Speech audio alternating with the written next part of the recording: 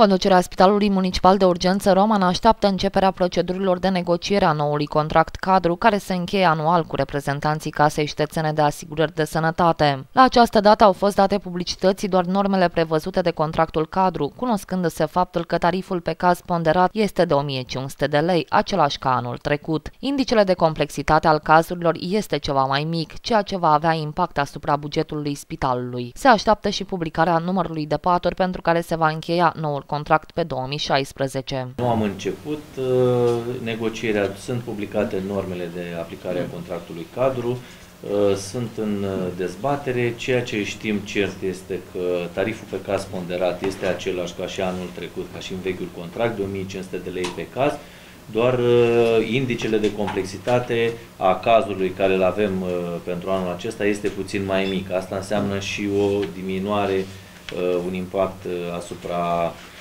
bugetului. Urmează să vedem care va fi numărul de paturi care vor fi scoase la contractare pentru anul 2016, după care putem să facem o, o analiză mult mai exactă pe uh, valoarea de contract. În linii mari, cam aceleași condiții de contractare.